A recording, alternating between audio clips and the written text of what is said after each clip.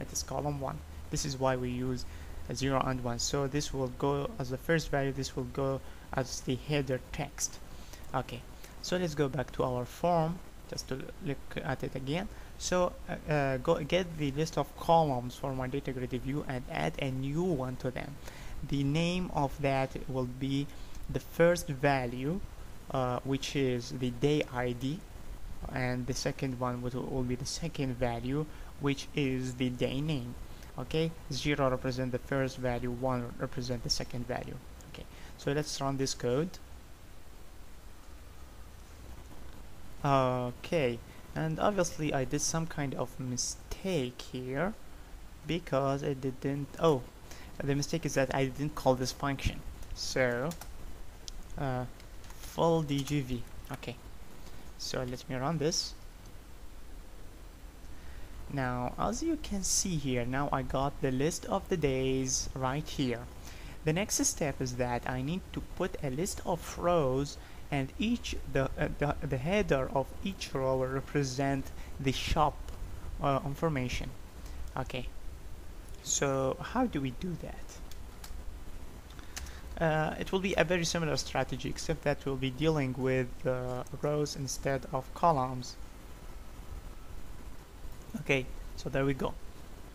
So create all the rows. Um, for i equals 0 2 test data set dot now we are gonna work with the, the stars. So I am using the stars table now instead of using the dot rows dot count I can make it shorter and just write dot count okay? It will also get me the whole list of uh, the whole list of stars uh, uh, rows okay? So it will be like this dgv dot rows dot add. Now I'm gonna add an empty row. The header of this row should contains the store name so dgv dot rows of i dot header cell dot value equals now this is an important part I'm gonna use the test dataset dot stars of i. I didn't use dot rows of i you can use of i right away and the compiler will understand what you are trying to do here. Dot item of one. This is a very similar technique. I didn't use zero because if we go to the data set and this is the start table the column 0 is the ID the column 1 is the name. And again you can use the star name. Let me use the star name here just in case so that you can see it star name. Probably using names is better but uh, anyway I just want to, uh, to show you the code. Okay so let's see this. In action. And as you can see now this is the first star second third and fourth okay? And these are the days okay? So far so good. This is quite nice and easy to um, understand now. There are a number of tricks here now. Since I have the work schedule I need to display the information at the intersection of these two. In other words uh, I must know the coordinates of the correct cell. So I need to know which column I must put my record and I need to know which row I must uh, use. In order to do that um, what am I gonna do is store some kind of information in the columns and the rows and the, uh, which will help me later on to identify the correct location uh, okay? With each control there is a tag property and the tag property will allow me to store whatever value I want to use later. So this is what I'm gonna do. I am gonna go to the columns and write this dgv.columns of i dot tag equals I am gonna store the primary key here so it is gonna be uh, test data set. The days of i dot item of 0 okay?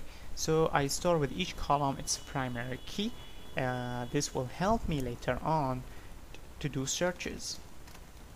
Okay control C control V. This is something very similar. Rows for each row I'm gonna use the tag property. Instead of days I'm gonna use stars and use the item 0 okay. Now I am gonna read the information in the work schedule and use that to display uh, some values over here. So uh, before before I do that let, let's just make sure we have some values okay? So let me retrieve the data retrieve the data over here okay? So we have just one row right? And we need to display that. Let me add another one. E2 st1 and day 1 okay? Um yeah. Let's let's just have two values just to make things more interesting. Okay. So now fill the cells okay. To make things easier I am gonna put a collection with each cell. The collection will store information that makes uh, programming easier for me. This information will include the ID of the person that's working on that day and the name of that person okay? You can avoid using this but um, just to make things easier. Okay so dimension j as integer for i equals 0 to uh, dgv dot rows dot count minus 1 for j equals 0 to dgv dot columns dot count minus 1 all I have to do which is very simple is like this. dgv dot rows of i dot cells of j. Now this is getting me the cell dot tag property equal new uh, collection. Okay and the collection is gonna store the IDs and the names of the uh, employees. Okay. Now start working on the uh, work schedule table. Now there we go. This is the important and probably the most difficult part in the code. So for i equal 0 to uh, works uh, sorry test data set dot work schedule dot count I will loop over uh, every uh, row. Now I must get the ID so dimension uh, day ID as string equals uh, okay so let me go to the data set just to remember the order. So day ID it's this one and store ID and PID probably I should use the names. It will make my life easier. So of i dot item day id okay. Dimension store id uh, string equal the store id um, emp id emp id okay just look at this again just to make sure you have the right uh, names. Okay. Now okay. What I need in order for me to store the value what do I need? I need to know the row number and the column uh, the column number. So dimension row number as integer equal minus 1 now this one is find the row number. Obviously the row number contains the store information so we are gonna search the correct row number. So for j equals 0 to dgv rows count minus 1 okay I'm gonna access this one. Now if dgv rows of j dot tag okay this is where it gets important. If the tag value equal uh, store id then row number equal j. Okay you might be asking where did the tag come from and what does it do? If you go back here we were creating the rows and each row I changed its tag property to be the primary key of the store. So now I am searching this one here. Uh, so that I find the correct row number. It's as easy as that. Same technique is used to find the column. Control C okay. Find the column number.